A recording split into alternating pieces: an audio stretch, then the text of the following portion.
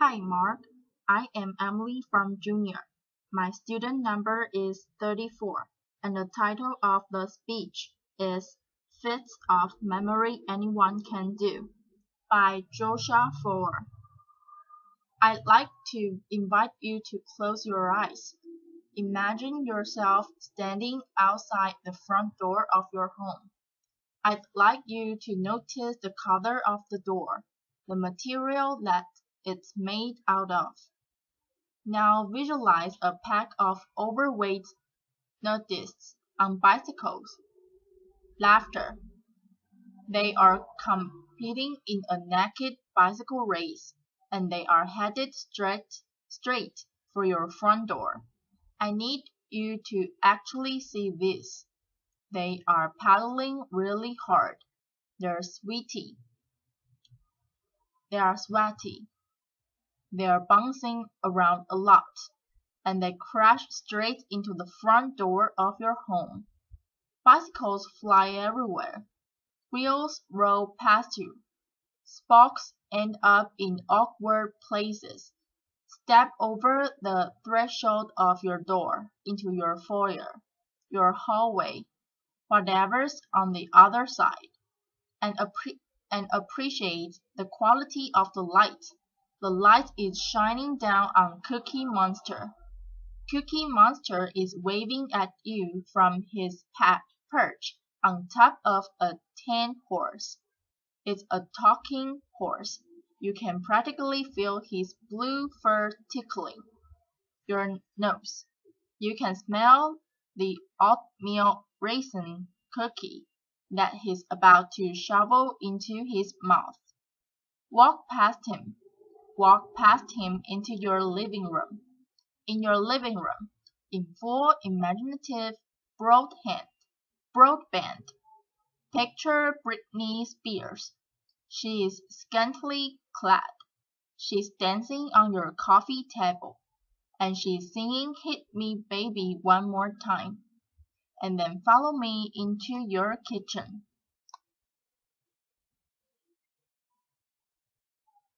In your kitchen, the floor has been paved over with a yellow brick road, and out of your oven are coming towards your Dorothy, the Tin Man, the Scarecrow and the Lion from the Wizard of Oz, hand in hand, skipping straight towards you.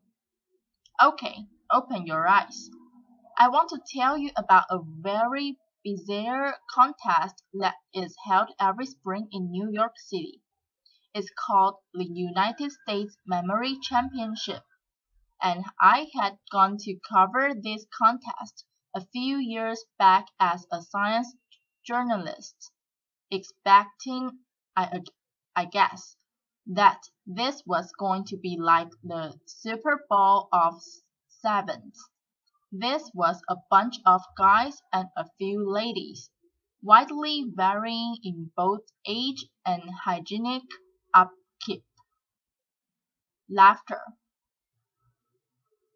They were memorizing hundreds of random numbers, looking at them just once. They were memorizing the names of dozens and dozens and dozens of strangers.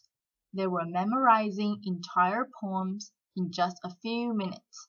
They were competing to see who would mem who could memorize the order of a shuffled pack of playing cards the fastest. I was like, this is unbelievable. These people must be freaks of nature. And I started talking to a few of the competi com competitors. This is a guy called Ed Cook, who had come over from England, where he had one of the best trained memories, and I said to him, Ed, when did you realize that you were a savant? And Ed was like, I'm not a savant. In fact, I have just an average memory. Everybody who competes in this contest will tell you that they have just an average memory. We've all trained ourselves to perform these utterly miraculous feats of memory using a set of ancient techniques.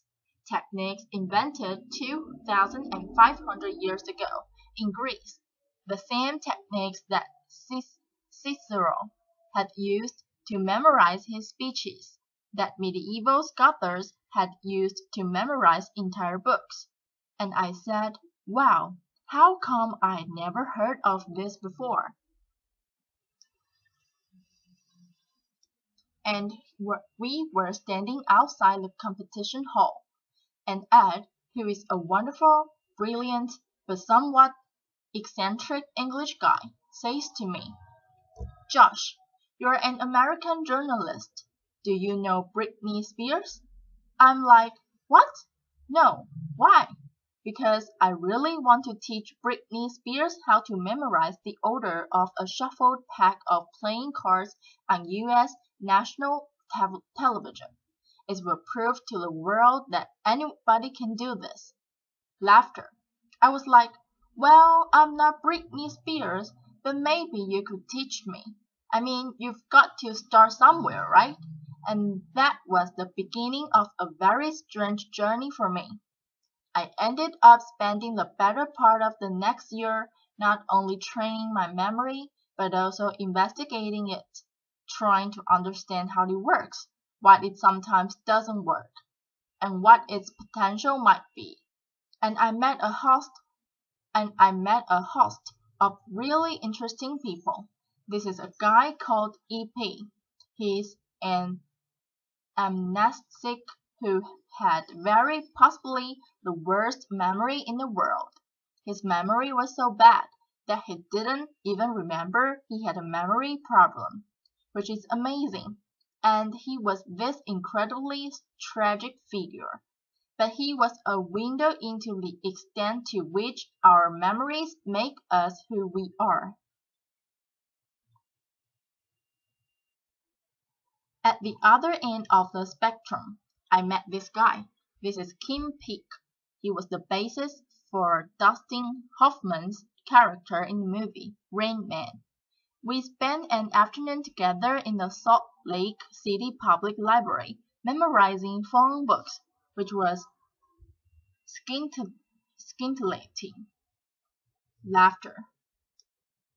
And I went back and I read a whole host of memory treatises, treatises Treatises written 2,000 plus years ago in Latin, in antiquity, and then later in the Middle Ages, and I learned a whole bunch of really interesting stuff. One of the really interesting things that I learned is that once upon a time, this idea of having a trained, disciplined, cultivated memory was not nearly so alien as it would seem to us to be today. Once upon a time, people invested in their memories, laboriously furnishing their minds.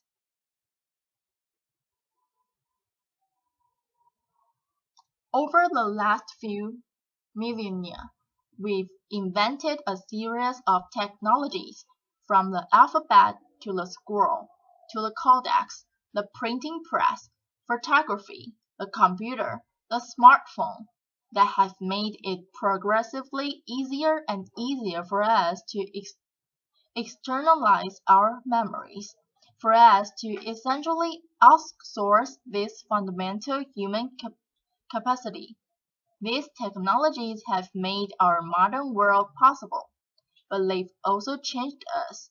They've changed us culturally, and I would argue that they've changed us cognitively. Having little need to remember anymore, it sometimes seems like we've forgotten how. One of the last places on earth where you still find people passionate about this idea of a trained, disciplined, cultivated memory is at this totally singular memory contest. It's actually not that singular. There are contests held all over the world, and I was fascinated. I wanted to know how do these guys do it. A few years back, a group of researchers at University College London brought a bunch of memory champions into the lab they wanted to know, do these guys have brains that are somehow structurally, anatomically different from the rest of ours? The answer was no. Are they smarter than the rest of us? They gave them a bunch of cognitive tests, and the answer was not really. There was, however, one really interesting and telling difference between the brains of the memory champions and the control subjects that they were comparing them to. When they put these guys in an fMRI machine, scanned their brains while they were memorizing numbers and people's faces and pictures of snowflakes, they found that the memory champions were lighting up different parts of the brain than everyone else. Of note, they were using, or they seemed to be using, a part of the brain that's involved in spatial memory and navigation. Why? And is there something that the rest of us can learn from this? The sport of competitive memorizing is driven by a kind of arms race where every year somebody comes up with a new way to remember more stuff more quickly, and then the rest of the field has to play catch up. This is my friend Ben Pridmore, three-time world memory champion. On his desk in front of him are 36 shuffled packs of playing cards that he is about to try to memorize in one hour, using a technique that he invented and he alone has mastered. He used a similar technique to memorize the precise order of 4140 random binary digits in half an hour. Laughter. Yeah, and while there are a whole host of ways of remembering stuff in these competitions, everything, all of the techniques that are being used, ultimately come down to a con concept that psychologists refer to as elaborative encoding. And it's well illustrated by a nifty paradox known as the Baker-Baker paradox which goes like this. If I tell two people to remember the same word, if I say to you, remember that there is a guy named Baker, this that's his name, and I say to you, remember that there is a guy who is a baker, okay? And I come back to you at some point later on, and I say, do you remember that word that I told you a while back? Do you remember what it was? The person who was told his name is Baker is like is less likely to remember the same word than the person was told him was told his job is a baker. Same word, different amount of remembering. That's weird. What's going on here? Well, the name Baker doesn't actually mean anything to you. It is entirely un third from all of the other memories floating around in your school. School. But the common non-baker, we know, we know bakers. Bakers wear funny white hats. Bakers have flour on their hands. Bakers smell good when they come home from work. Maybe we even know a baker. And when we first hear that word, we start putting these associational hooks into it. That makes it easier to fish it back out at some later date. The entire art of what is going on in these memory contests, and the entire art of remembering stuff better in everyday life, is figuring out ways to transform capital B bakers into lowercase b bakers to take information that is lacking in context, in significance, in meaning, and transform it in some way, so that it becomes meaningful in the light of all the other things that you have in your mind.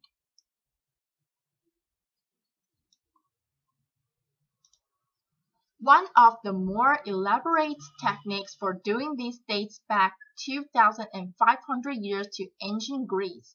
It came to be known as the memory palace the story behind its creation goes like this. There was a poet called Simonides. He was attending a banquet.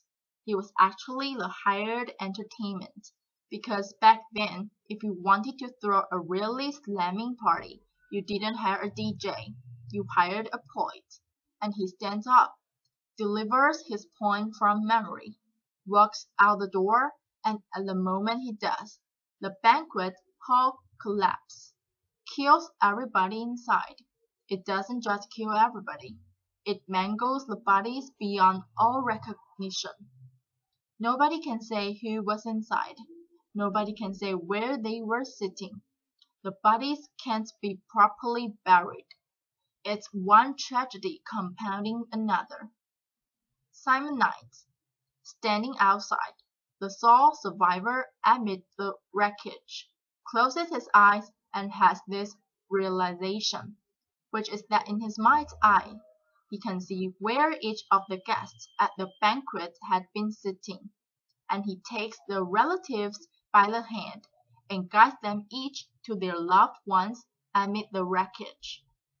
What Simonides figured out at that moment is something that I think we all kind of intuitively know, which is that as bad as we are at remembering names and phone numbers, and word-for-word instructions from our colleagues. We have really exceptional visual and spatial memories. If I asked you to recount the first 10 words of the story that I just told you about Simonides, chances are you would have a tough time with it. But I would wager that if I asked you to recall who is sitting on top of a talking ten horse in your foyer right now, you would be able to see that. The idea behind the memory palace is to create this imagined, imagined edifice in your mind's eye and populate it with images of the things that you want to remember. The crazier, we, the weirder, more bizarre, funnier, racier, stinker the, Im the image is, the more unforgettable it's likely to be. This is advice, advice that goes back 2,000 plus years to the earliest Latin memory treatises. So how does this work? Let's say that you've been invited to TED Center Stage to give a speech, speech, and you want to do it from memory, and you want to do it the way that Cicero would have done it if he had been invited to tax Rome 2,000 years ago. Laughter. What you might do is picture yourself at the front door of your house, and you'd come up with some sort of crazy, ridiculous, unforgettable image to remind you that the first thing you want to talk about is this totally bizarre contest. Laughter. And then you'd go inside your house and you will see an image of Cookie Monster on top of Mr. Ed. And that would remind you that you would want to then introduce your friend Ed Cook. And then you'd see an Im image of Britney Spears to remind you of this funny anecdote you want to tell. And you'd go into your kitchen. And the fourth topic you were going to talk about was this journey that you were you went on for a year, and you'd have some friends to help you remember that. This is how Roman orators memorize their speeches, not word for word, which is just going to screw you up, but topic for topic. In fact, the phrase topic sentence that comes from the Greek word topos, which means place. That's a vestige of when people used to think about oratory and rhetoric in these sorts of special terms. The phrase in the first place that's like in the first place of your memory palace. I thought this was just fascinating, and I got really into it, and I went to a few more of these memory contests, and I had this notion that I might write something longer about this subculture of competitive memorizers. But there was a problem. The problem was that a memory contest is a pathologically boring event. Laughter. Truly, truly, it is like a bunch of people sitting around taking the SATs. S-A-T-S.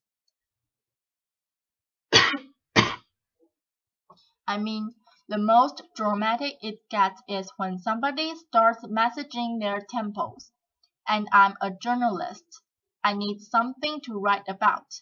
I know that there's incredible stuff happening in these people's minds, but I don't have access to it. And I realized if I was going to tell this story, I needed to walk in their shoes a little bit. And so I started trying to spend 15 or 20 minutes every morning before I sat down with my New York Times, just trying to remember something. Maybe it was a poem. Maybe it was names from an old yearbook that I bought at a flea market. And I found that this was shockingly fun. I never would have expected that. It was fun because this is actually not about training your memory, what you're doing is you're trying to get better and better at creating, at dreaming up these utterly ludicrous, wrenching, hilarious, and, hop and hopefully unforgettable images in your mind's eye. And I got pretty into it. This is me wearing my standard competitive memorizer's training kit. Laughter. It's a pair of earmuffs and a set of safety goggles that have been masked over except for two small pinholes because distractions is the com competitive memorizer's greatest enemy. I ended up coming back to that same contest that I had covered a year earlier, and I had this notion that I might enter it, sort of as an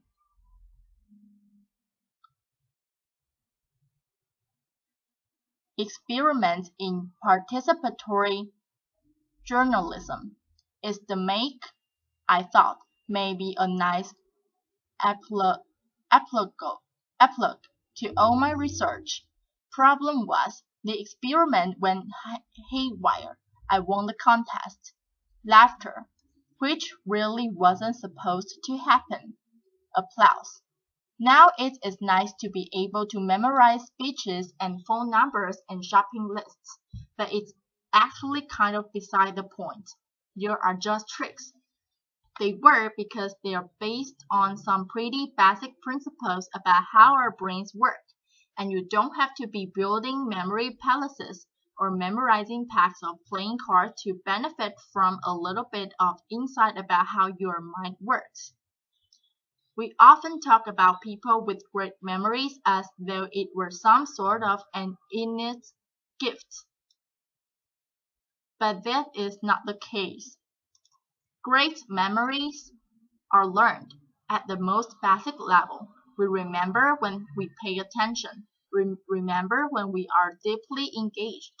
We remember when we are able to take a piece of information and experience and figure out why it is meaningful to us, why it is significant, why it's colorful, when we are able to transform it in some way that makes sense, sense in the light of all of the other things floating around in our minds when we are able to transform bakers into bakers. The memory palace. These memory techniques, they are just shortcuts. In fact, they're not even really shortcuts. They work because they make you work. They force a kind of depth of processing, a kind of mindfulness that most of us don't normally walk around exercising. But there actually are no shortcuts. This is how stuff is made memorable. And I think if there's one thing that I want to leave you with, it's what EP, the amnestic who couldn't even remember he had a memory problem, left me with. which is the notion that our li lives are the sum of our memories. How much are we willing to lose from our already short lives? By losing ourselves in our Blackberries, our iPhones, by not paying attention to the human being across from us who is talking with us, by being so lazy that we are not willing to process deeply. I learned firsthand that they, there are incredible memory capacities latent in all of us. But if you want to live a memorable life, you have to be the kind of person who remember who remembers to remember. Thank you. Applause.